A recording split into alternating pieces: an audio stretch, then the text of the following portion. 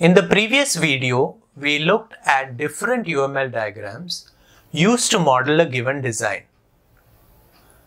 We saw that a given design can have various diagrams which describe multiple views of the system at different levels of granularity. Oh, so we can understand a software system through these detailed design diagrams, isn't it?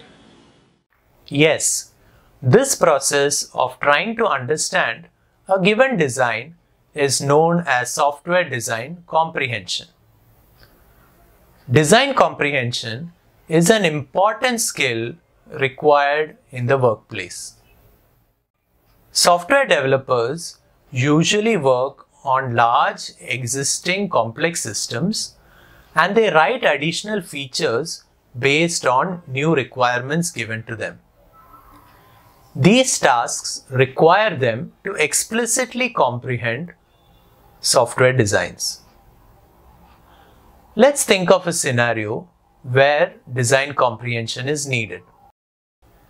For example, let's say we need to integrate the mood-based music player with an existing Amazon Music application. How do we go about doing this? So, developers, before they actually start coding, they need to comprehend existing subsystems in the music player and design the new mood-based music feature so that it can be seamlessly integrated to the existing design. Okay, I understood that design comprehension is essential. But let's say I'm a student who has just learnt about these UML diagrams. It can be difficult to make sense of all these diagrams, right? Yes, that's true. Let's reflect on these difficulties. So students, here's a reflection spot for you. What difficulties do you think one faces while trying to analyze different UML diagrams? You can pause this video and write down your responses before proceeding.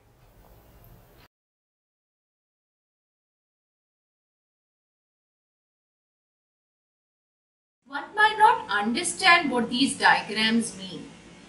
For example, there are various syntax and notations for the different design diagrams. Yes, that's true. But this can also be easily learned and practiced. Others might find it difficult to understand how certain requirements and parts of the solution design map. For example, how do classes in the class diagram like song, similarity, etc. relate to the requirement of the mood-based music player? Another difficulty that people could face is making connections between these diagrams mainly because each of the diagram has huge amount of details. Yes, that's true. For example, the sequence diagram takes objects from the class diagram and describes its behavior. However, students find it difficult to make this connection between the class diagram and the sequence diagram. Hmm. But it is important to make connections between the different UML diagrams to comprehend the design. But how can we develop design comprehension? Yes, this is a very good question.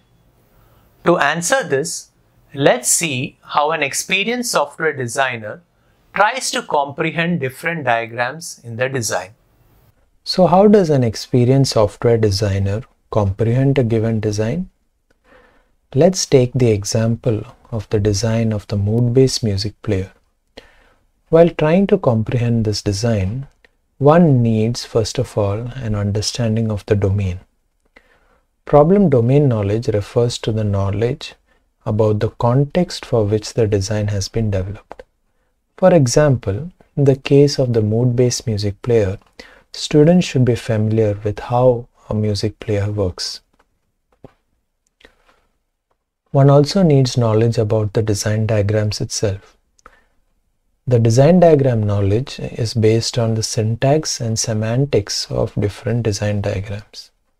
For example, students should understand various symbols and representations in the class and the sequence diagrams and what they mean in the context of software design. One should also understand the main goals of these design diagrams. The main goals refer to the purpose of each diagram and its role in the design. For example, a sequence diagram for a particular functionality can be composed of a sequence of sub-goals that realize that functionality. For example, a sequence diagram for login into the mood-based music player will include sub-goals such as user input, functionalities to do when the login is successful, and what to do when the login is unsuccessful. One also requires knowledge about the dynamic behaviors in the design. When expert designers see a set of design diagrams, they think about the dynamic behaviors in the design. This involves knowledge about how data members in the class diagram change based on the execution of the sequence diagram. For example, when the login is successful, a user's profile and playlists are fetched from the database and corresponding values of the user profile and the playlist should be updated. To effectively perform software design comprehension, one requires knowledge of the domain, the design diagrams, the main goals present in the diagrams, and the dynamic behaviors in the design, which is nothing but how the system works in real time.